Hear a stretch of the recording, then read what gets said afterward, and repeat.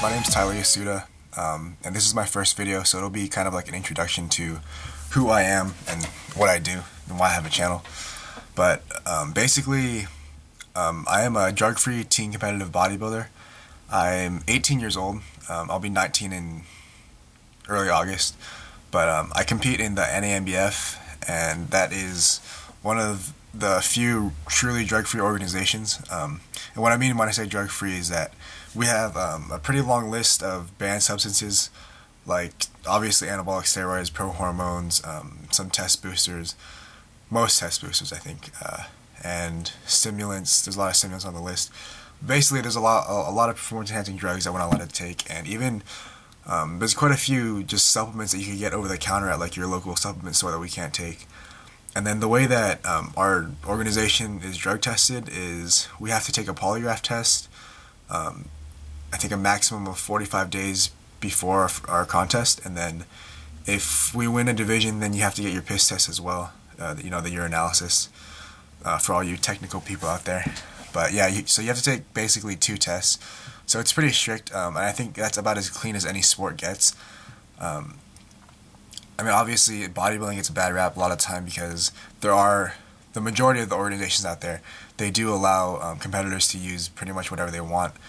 Um, and then a lot of guys they, they call themselves natural bodybuilders as long as they can cycle off whatever they're using um, to pass their drug test. But that's not the way this works. Um, as far as I know, um, this is as clean as it gets, and I, I feel like I'm pretty confident that most of the athletes in the NANBF and the pro affiliate, the IFPA, are clean. Um, I don't feel like there, there may be like a few guys that are questionable, but I would like to believe that everybody's natural. So. Um, I guess let's talk about.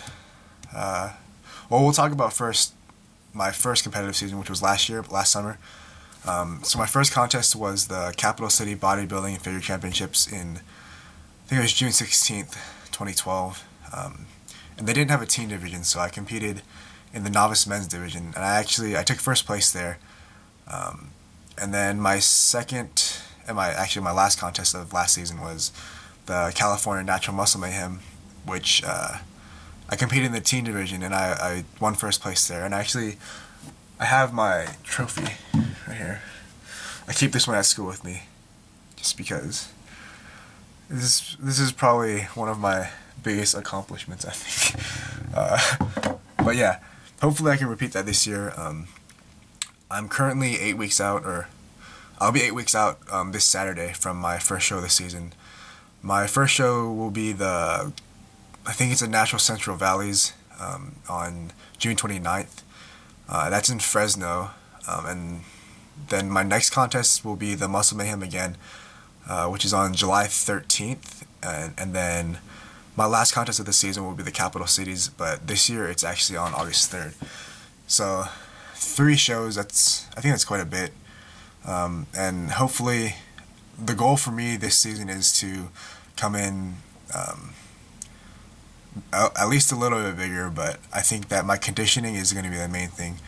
Uh, last season, I think my upper body was it was about as good as I think I could get it um, in terms of conditioning. Not necessarily size, but definitely my upper, my upper body was conditioned really well. But my probably like from the waist down, uh, my conditioning was not where where I wanted it to be, and um, it was just a matter of if I continued to cut um, or to lose weight I would have been smaller than I wanted to be. So it was kind of like a balance of uh, trying to keep as much size while getting to the low, the lowest body fat percentage that I could. So hopefully this season, uh, we'll see uh, how much progress I made. And obviously the goal is to win, but that's you know that, that a lot of that is uh, out of my my control. It's just the only thing I can really control is how hard I work. But other than bodybuilding.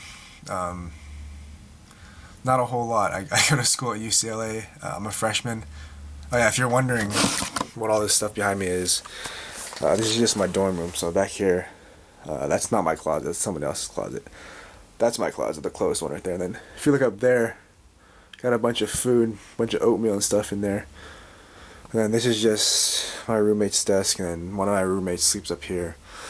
The other one sleeps up here, and I sleep on this bed here.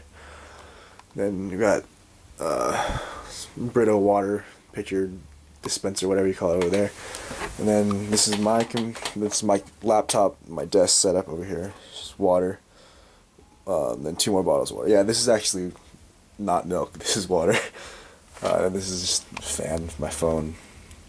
Uh, but yeah, basically that's it.